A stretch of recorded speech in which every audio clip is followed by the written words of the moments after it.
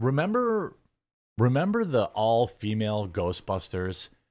Remember how not only was it a terrible movie, an, an unstoppable cringe fests, an unstoppable cringe fest, but then they decided that they would spit on the legacy of Ghostbusters, even though they wanted to be called Ghostbusters and they wanted to replace the Ghostbusters. And, uh, you know, I think that uh, it's been very, very interesting to watch all their careers post that movie. I remember when they went after men, call, you know, yelled at men for not seeing, uh, for not, you know, buying their, pro- or going to see their woke crap movie and all this kind of stuff. Now Leslie Jones is opening up on the Ghostbuster threats on her life. Leslie Jones, has anybody even said her name in forever? Uh, this is definitely not. This is definitely not a clout grab. Definitely. Definitely not a clout grab at all. Leslie Jones opens up about the brutal racism and threats she received over involvement in the 2016 Ghostbusters reboot. Why are people being so evil to each other? How can you just sit there and type, I want to end you? Who does that? Now, I will argue that I don't support that. And I remember at the time of the reboot, I covered it. Uh, there were some people saying some vile things. Um, there was the uh, tribute photos, which I'm not going to really describe in depth how those happen, but it's like when someone posts a picture of a picture of you with some bodily fluid on it. There was all sorts of weird, gross stuff that was going on. I think she's who got Milo banned from Twitter. Um, and uh, and and what's what's hilarious is, um, and then also Jason Reitman's unforgivable comment on fighting to increase her only her $67,000. She only made $67,000 to work for a couple weeks, guys. Feel bad. Feel bad for her. Rolling Stone published an excerpt from Leslie Jones's new memoir. Oh, I'm sure that's going to be number one on the New York Times bestseller list. Uh, about she opened up with the brutal racism and threats she received for her involvement in the 2016 Ghostbusters reboot. Well, remember, the entire advertising plan for that movie was to attack the original fandom. Remember? Remember. The Sony release, directed by Bridesmaids Helmer Paul Feig, who is a moron, uh, male feminist who got caught cheating on his wife.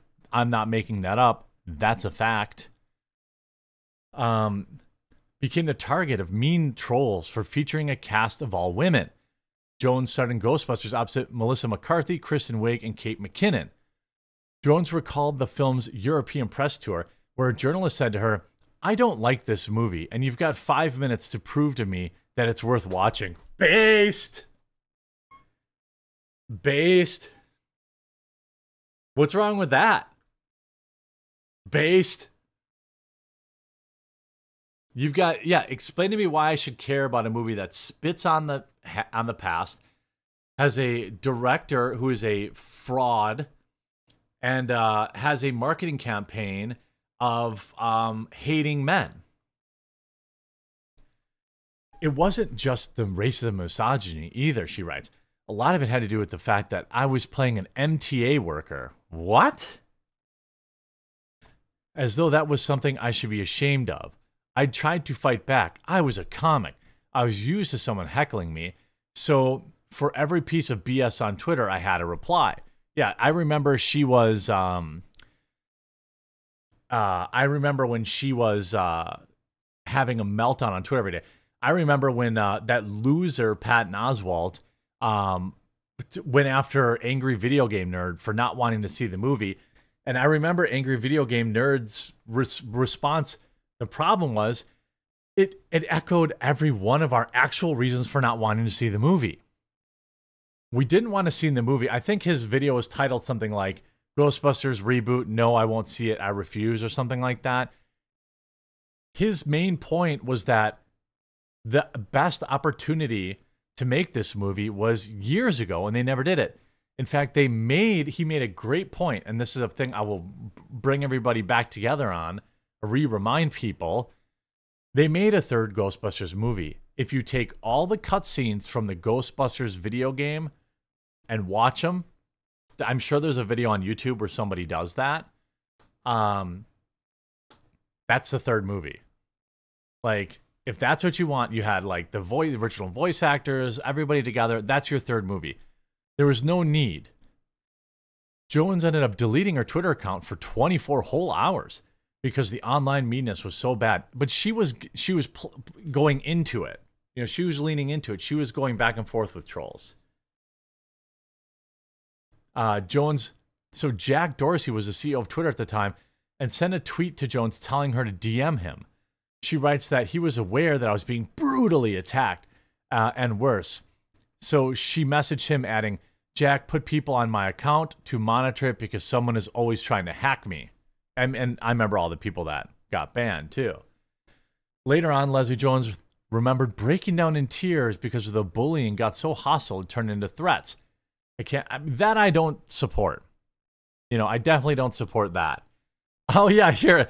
I was being sent films uh, of being hanged and white guys uh, pleasuring themselves on my picture saying, uh blah blah blah blah blah. Who does that? I don't know who does that. That is legit unhinged okay? I agree that that is weird.